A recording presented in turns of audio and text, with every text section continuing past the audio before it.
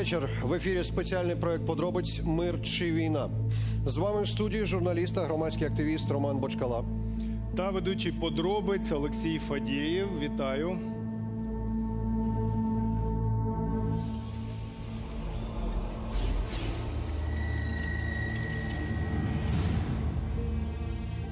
Мир чи війна це не лише фронт та постріли.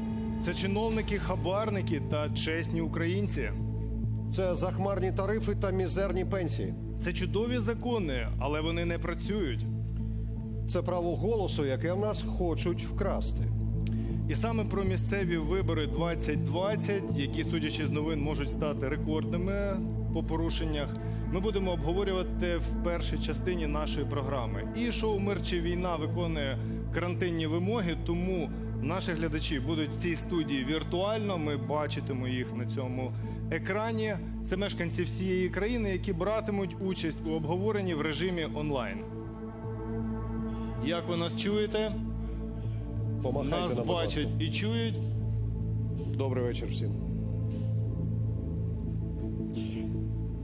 Але перед тим як ми почнемо, е, новини з Луганщини. Там палає 19 тисяч гектарів лісу просто в ці хвилини. Під загрозою знищення вже 32 населені пункти, в тому числі велике місто Северодонецьк. Вісім людей загинули, ще чотирьох вважають зниклими. А вогонь зараз гасять 2,5 тисячі людей. І наш журналіст Руслан Сміщук саме зараз знаходиться у Северодонецьку, фактично на передовій пожеж. Е, Руслане, як ти нас чуєш? Скажи, будь ласка, от е, наскільки відомо, сьогодні вдалося Чую відбити добре. вогонь. Е, От станом на зараз, чи є якась загроза для місцевих мешканців?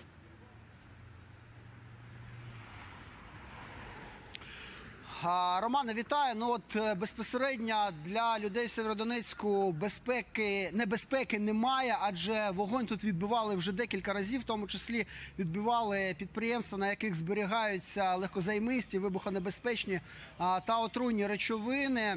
Але от ситуація в інших районах області більш загрозлива. Попри значні зусилля через сильний вітер, там і досі не можуть ліквідувати е, низку осередків займання.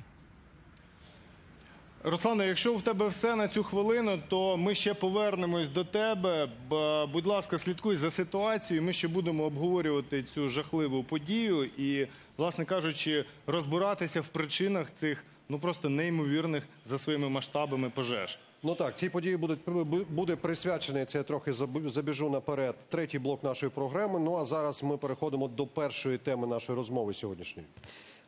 156 кримінальних проваджень відкрила Нацполіція через порушення на місцевих виборах. До них, до виборів, нагадаю, ще три тижні. З нами в студії політики, кандидати. І сьогодні ми будемо говорити так, експерти. Ми сьогодні будемо говорити про місцеві вибори. І з нами має бути ще один гість, член ЦВК Юрій Мірошниченко, але він з об'єктивних причин затримується, бо зараз ще йде засідання ЦВК. І ми, можливо, ми сподіваємося, що він трохи пізніше приєднається до нас. Ну а зараз питання, напевно, всім або до пані Олі, як мережа опора.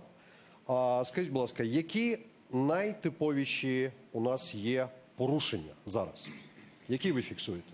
Справа в тім, що на будь-яких виборах найбільш масовими є порушення, які не впливають на кінцевий результат виборів. Наприклад, агітаційні матеріали без вихідних даних. Кількісно їх набагато більше ніж системних серйозних порушень.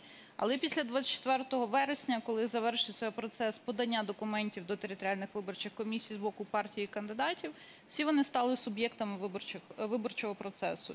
Е, Кількість е, порушень набагато більш серйозних, на нашу думку, збільшується, тому що питання впливу на кінцевий результат виборів, наприклад, через матеріальну стимуляцію громадян голосувати, йти на вибори чи не йти, е, Через є хабарі. набагато більш ризикований, хабарі, ніж просто порушення порядку фінансування виборчої кампанії.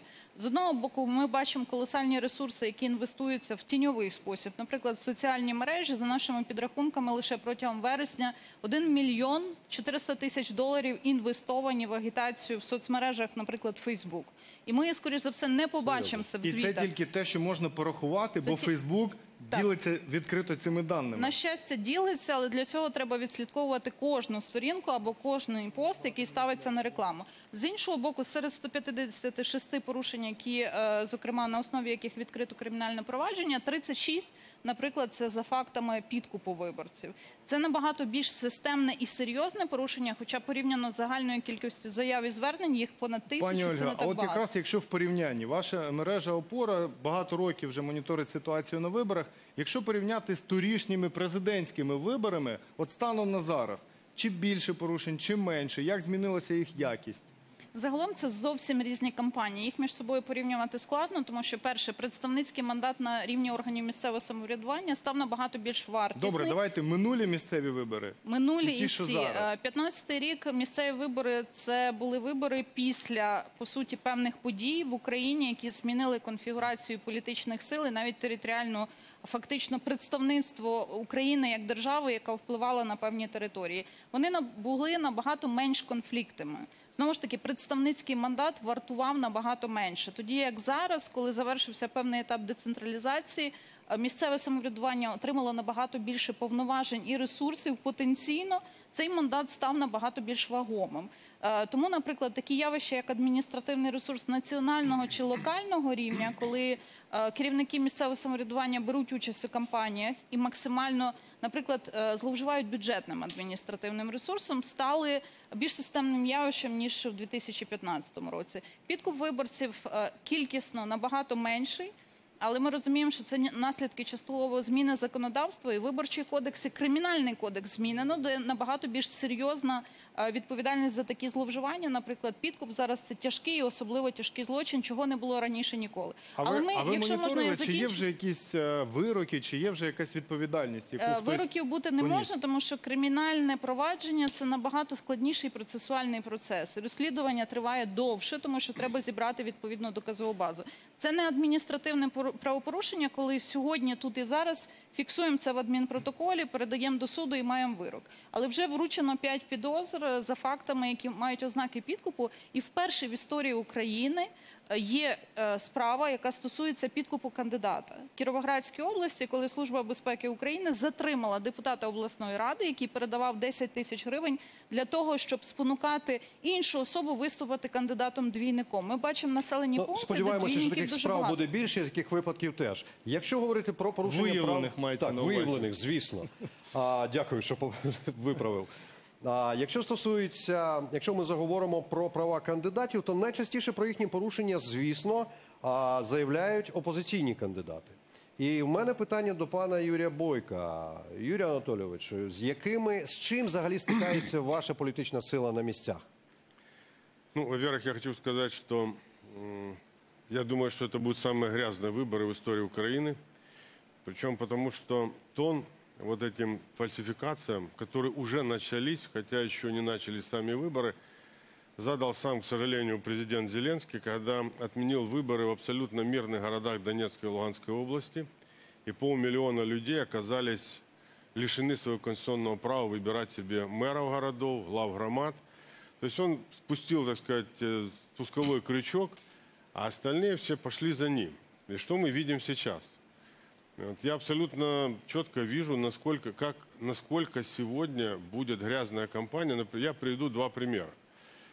Первое – это Николаевская область, где и в облсовет, и в горсовет не территориальная избирательная комиссия не регистрирует нашу партию, при том, что у нас там самый высокий рейтинг, под надуманным предлогом. Там технические какие-то нашли причины и отказали в регистрации. Сейчас, кстати, идет суд, и ЦВК как раз вмешался в этот процесс, потому что там явное нарушение партию вообще снимают с выборов в области. В Рубежном Луганской области еще дальше пошли. Один из э, депутатов, который часто голосует вместе с провладной фракцией, он пошел дальше. Он подкупил большинство территориальной комиссии в городе, на этом территориальном округе. Он э, ведет две партии туда, а всех остальных вообще не зарегистрировали. То есть, э, что там думать? Две партии у него есть, вот их давайте зарегистрируем, остальных территориальная комиссия не регистрирует. Комиссию распустили, завели уголовное дело на председателя бывшего, потому что он там занимался явным подкупом. Сейчас снова будет э, новая территориальная комиссия, и я надеюсь, что справедливость будет восстановлена, потому что там это уже явно за пределами. И, то есть у нас появилось такое ноу-хау, как не регистрировать кандидатов под надуманными предлогами. Такого не было никогда. Ну, я, во всяком случае, не помню в 2015 году, чтобы у нас кого-то снимали с регистрации, так это еще у нас выборы не начались. У нас же основные фальсификации начинаются в день голосования, когда там подкупают, сетки делают, когда раздают деньги, раздают там продукты, когда э, протоколы пытаются подделать. Этого еще этого не началось, еще нет, нет дня голосования и не вступили в активную фазу, а уже, к сожалению, вот такие безобразия творятся. Поэтому самое главное сейчас два вопроса решить. Первое, и на чем будем настаивать, чтобы правоохранительные органы жестко контролировали и реагировали на подобные ситуации. А второй вопрос не менее важный. Ведь у нас десятки тысяч членов избирательных комиссий сегодня окажутся, если мы не дадим денег на закупку дезинфекторов, масок, вот они окажутся в реальной опасности. І по Пане кабінету Володимире, міністрів у нас якраз зараз включення Якраз ми маємо зарубіжного. чим якраз, проілюструвати е, те, про що ви Ця сказали. історія, про яку ви розказуєте, вона дійсно, ну просто, вибачте, на голову не налазить. Е, Романе, зараз- заряджай. Так, зараз е, у нас на зв'язку голова е, територіальної виборчої комісії. Як ви нас чуєте? Доброго вечора. Добрый вечер, студия, добрый вечер, телезрители. Е, Хорошо, я слышу. Я так розумію, що всередині комісії, яку ви очолюєте, у вас стався такий конфлікт, і фактично ви, хоч і керівник цієї комісії, але е, ну, у вас там ну, різне бачення, кого реєструвати, а кого ні. Як так сталося, що от, е, е, партію опозиційна платформа за життя не зареєстрували? Та чи не зареєстровані ще інші учасники перегонів? Я возглавляю Северодонецкую комиссию, и, как сказал э, э, Юрий Бойко, к сожалению, выборы здесь... э, А у вас в одна отличие спільна от комиссия? 19-го Нет, это другая комиссия, это Северодонецкая... Тоді, городская мабуть, це избирательная помилка комиссия. режисерів, бо нам повідомили про те, що є включення з Ні. рубіжного. Ну, по ситуации в Рубежном и по области я могу сказать, так как отслеживаю этот процесс. Дело в том, что в Рубежном состоялась э, э, такая же ситуация, как и в других избирательных комиссиях. Э, Это были зарегистрированы всего пять партийных организаций.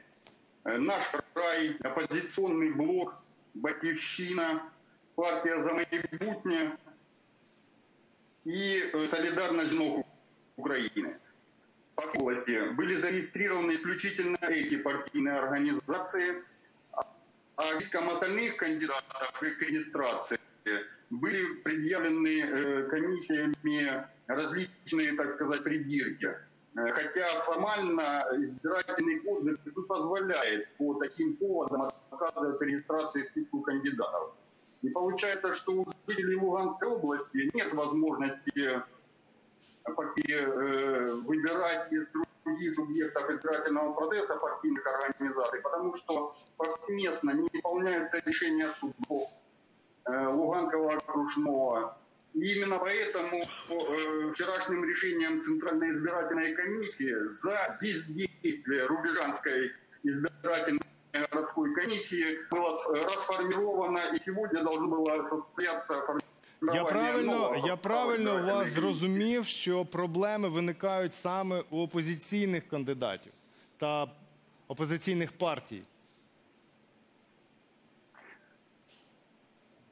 Я еще раз хочу повториться, что практически все- у всех, и у провластных, и у э, слуги народа не исполняется решение суда комиссиями. То есть так называемая, как у нас ее тут величают, сахарная команда, или сахарное братство, или команда Сергея Шахова.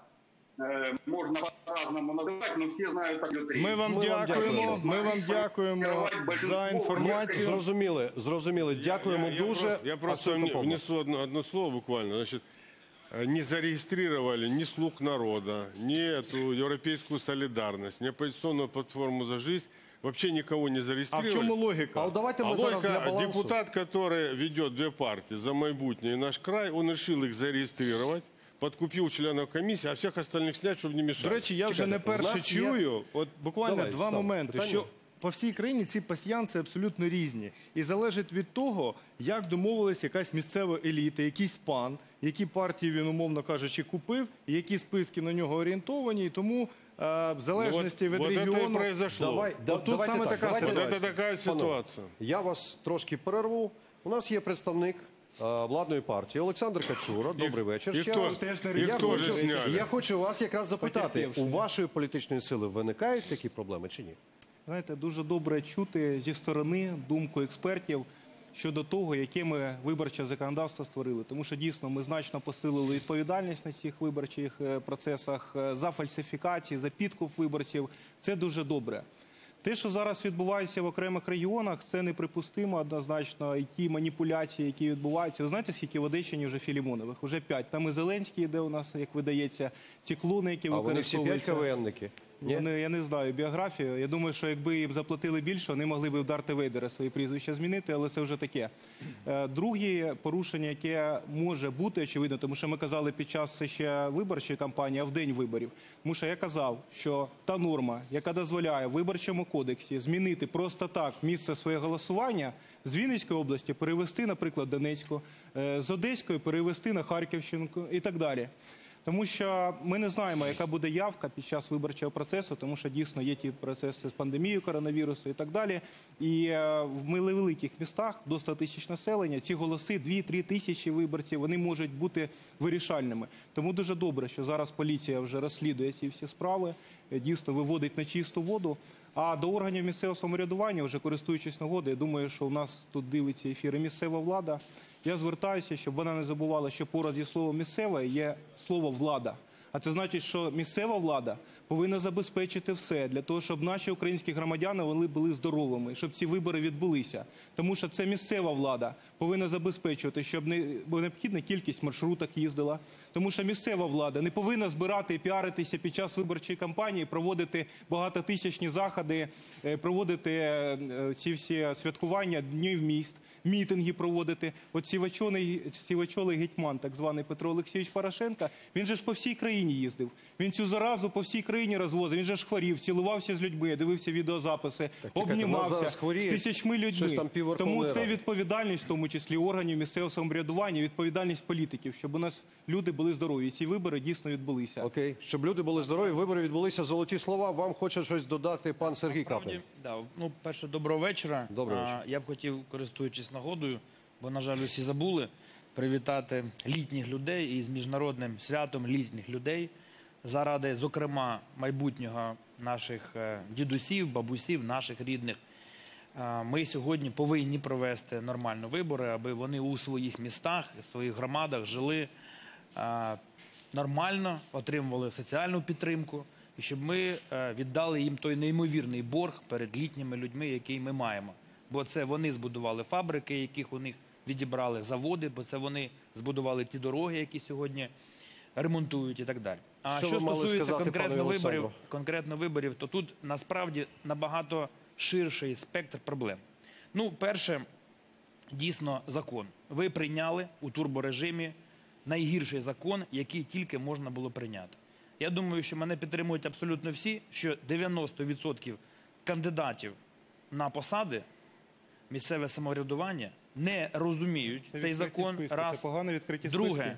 не розуміють, яким чином відбувається по суті голосування, як буде відбуватися підрахунок голосів, і вони знаходяться у стані абсолютної невизначеності щодо і методології. і так дуже складно. Дуже чи як? складно, перше. Ду- Друге, дуже багато нових вимог, які потрібно було запроваджувати поступово. І третє, дуже імперативний закон, який по-своєму теркомісії і суди е, трактують і користуються цим у спайці місцева влада, влада в Києві плюс суди знімають навмисне а, окремі партії, окремих кандидатів. Привожу приклади. Перше, Давайте ви приклад. От Юрій Анатолійович, насправді що? в Полтавській, я кажу за, за свою Полтавську область. У Полтавській області вашу партію ПЗЖ і в Кременчуцькому, і в Полтавському районі, я так розумію, не зареєстрували і не зареєструють. У мене Ну, отсудили мы, зарегистрируют сейчас. ну, спроби, скажімо так, такі Ні, ну, були. естественно, спочатку Друге, отказали. У горішніх плавнях е, е, Комсомольськ, горішні плавні. От наш колега Попов е, був тривалий час міським головою, гарним міським головою в горішніх плавнях. Мою партію, партію простих людей не зареєстрували за надуманих причин. За моєю інформацією, просто за вказівки е, олігарха Живага. І суд, який, в якому ми оскаржували це рішення, теж рішення було сфальшовано. А, А що змінилося? Ну чому так не було на минулих виборах? а от на я ще, один, я позаминулих? ще один приклад наведу, і вам стане зрозуміло. У нас у Полтавській області є вічний е, голова е, Вищого адміністративного суду Сергій Удовіченко, син колишнього голови обласної державної адміністрації Полтавської області Олександра Удовіченко, який перехрестився із партії регіони у партію Рідне місто.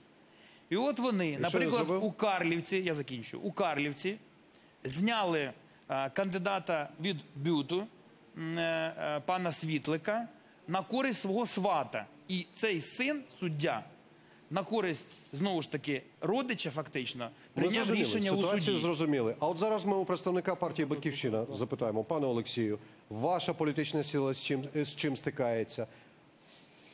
Ну, ви знаєте, я все, все, ж Ви так таки спокійно сидите? У вас воно добре? дивіться. Я в першу чергу сьогодні все ж таки кандидат е, на посаду міського голови в Києві. Ну, давайте про. Київ поговоримо. А в Києві да. що, все ну, гаразд? я проводжу зустрічі. Я в цьому процесі. Я може не бачу зараз усіх цих проблем, про які колеги говорять. Бо я розумію, пана Бойка, він лідер партійної партії всеукраїнської, так само як пан Каплін. Ну може українською, може ні, але так само за назвою українською. Я можу тільки зараз от вам узагальнити те, що я перше зрозумів. Е, Перше, це типовий приклад псевдореформ. І цей закон був е, як це, ну содраний, вибачте, да? якщо я не помиляюсь, У Польщі. е, в Польщі, де він спрацював один раз, і поляки після нього плювалися і казали, він не працює.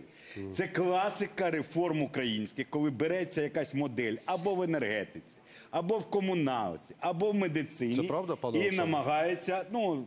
Може, правда. Каже, що неправда. Я ще раз я спілкувався з фахівцями. Тут краще не пана Качура, може, а пані Айвазовську запитати. Вона все ж таки Запитаємо. моніторить як громадська Давайте організація запитаємо, пані Олі, от як ви як мінімум, Чи можу дійсно сказати, треба вигадувати я вже велосипед, чи неозброєним брати... оком Пане Олексію, бачу. ви попросили, щоб експерт прокоментував, то давайте Ну, давайте надамо дамо таку слово. можливість. Ну, перше, це був такий міні-серіал з приводу виборчого кодексу, тому що перше читання було у 2017 році у попередньої каденції парламенту. І книга четверта, яка стосується місцевих виборів, приймалася влітку 2019 року. Зараз парламент дещо уточнив процедури, але насправді це дітище ще ще попереднього скликання парламенту. І авторами його є, наприклад, Юрій Богданович Ключковський. Ви його напевно знаєте і добре пам'ятаєте. І цей законопроект, виборчий кодекс, перша редакція розробляла ще 10-11 років тому. Це не є поль- польська модель.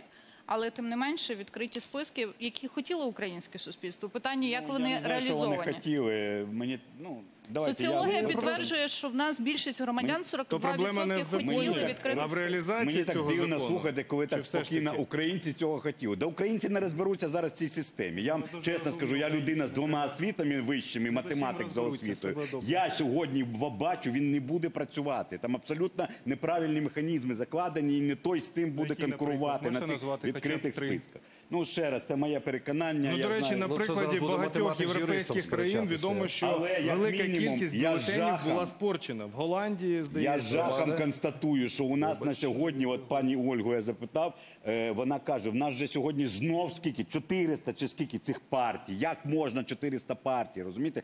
Народжуються партії суто Ну, до речі, не так просто зараз зареєструвати партію. Це інша проблема. про А як це інша проблема? Ну, знайдіть ще країну з чотири- з чотирма сотнями партій, вибачте. Пане Ну, Олексію, Насправді інша. Ми Дякую вам. знов Секунду. заплутаємо людей так, що вони нічого не зрозуміють. у пана Будуть Олександра кишенькові Качури, стосується юриста, є коментар. Взагалі Як юриста, всі, правда? Так, ну, можна як Чудово. юриста. Давайте як адвоката. представник Я, до влади. речі, все був таки. адвокатом партії Слуга народу, і під час виборчого процесу ми йшли до суду всупереч системи Порошенка і вигравали суди.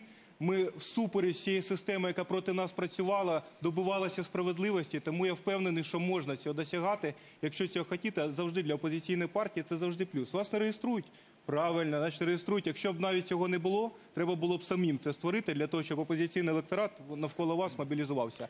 Щодо Дякую. да, я тут хочу завершити. Дуже коротко, будь ласка. Пане Олександре, ви ласка. знаєте, я завжди прошу Я дуже хотів би коротко. теж тут сказати, що всі парламентські партії, які були За весь період історичний вони обіцяли відкриті списки. І тільки коли президент Зеленський прийшов до влади, він цю обіцянку виконав. В- Розберуться виборці, зможуть, оберуть тих, кого вважають за необхідне. видніше. Ви... Зрозуміло, Ну, дивіться, що тоді у дайте нас ще не закінчити. говорив Да, пан да, Попов. дайте закінчити. Давайте, у нас 5 хвилин до реклами. Давайте ще дамо слово. Хочеться- хочеться Теж кандидат зараз- в мери столиці, Вибачте, до речі. панове, Будь панове, ласка. ви, Смотрите, крім вот- того, дехто ще кандидати, не лайтеся в карти. Выборы только начинаются. Яка и- ситуація у Києві? Скажете? Вот так? выборы только начинаются. Я с Юрием Анатольевичем абсолютно согласен, что основные нарушения впереди.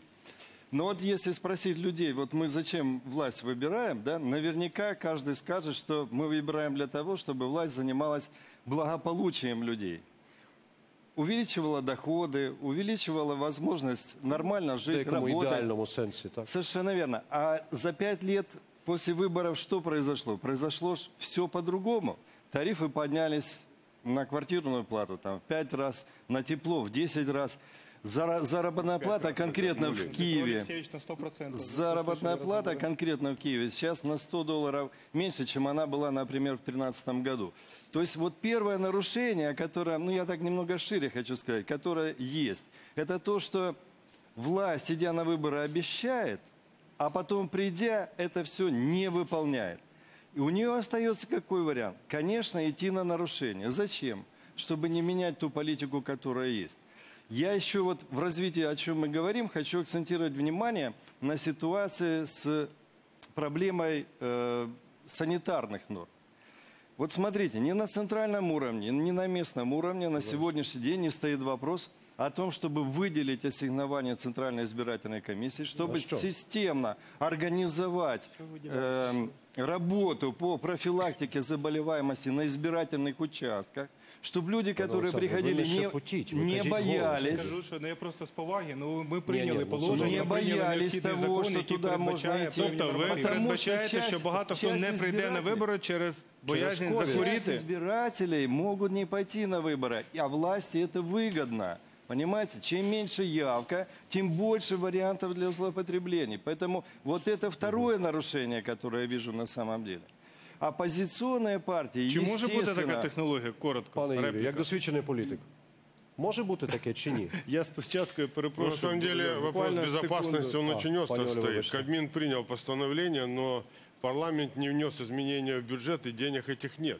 И у нас осталось тут две недели для того, чтобы закупить. на всё. местные советы Законі, все які це переложат, а там передбачають. тоже пусто, понимаете? Передбачається в рамках тих бюджетних, які виділялися коштів, буде все Уряд дійсно організовано. прийняв відповідну постанову щодо організації виборів в умовах карантину, але переклав цю відповідальність по суті на місцеві бюджети. Ну, а це ж парламент не вніс неправильно. зміни А вони до кажуть, а у Тому нас що грошей немає. Вчора на комітеті до цього питання 4117 законопроект не дійшли, зважаючи на те, що більшість депутатів вже пішли на карантин. Вже на Власне, зал і до відправили. 20 числа парламент не збирається. То що, Тобто у нас дільниці про- не будуть ні, дільниці е, будуть захищені, якщо місцева влада виділить відповідні ресурси і закупить Але обладнання. гарантувати цього ніхто не може. Десятки питання. тысяч людей. Пан Ці, Сергій. ці питання так чи інакше будуть технічні, технологічні вирішені. Є і інші два питання, дуже серйозні. Я хочу зробити абсолютно відповідальну і важливу заяву. От у місті Полтава сьогодні, за моєю інформацією, слуга народу на користь свого кандидата Іващенка і своїх кандидатів до міської ради почали будувати сітку для підкупу виборців. Я звертаюся до представників опори до Олі. Звертаюсь до вас, як до народного депутата України, до- депутата України. Я роблю офіційну заяву. У мене інформація, що у Полтаву приїхали, поселилися ціла група одних з найкращих будівельників такої сітки. Звертаюсь до правоохоронців. Ви повинні це зупинити. Це центр України, обласний центр, духовна столиця нашої держави. Я розумію, що у вас рейтинг там уже 13-15%. Ваш кандидат там набере, дай Бог, ніж партії простих 7-8%. Я розумію, що вам треба докуповувати. Але і друга проблема. Ні, чекайте. Е, Друга влада проблема буде сьогодні- після реклами. Ми почнемо з вас. Я вам ми обіцяю. закінчуємо перший блок. Перший блок закінчено, і в другому ми продовжимо цю саму розмову, але це буде за 12 хвилин. Зараз реклама на інтері. Не перемикайтесь. І ми повернемось до Луганщини та поговоримо про людей, які зараз можуть лишитися без домівок.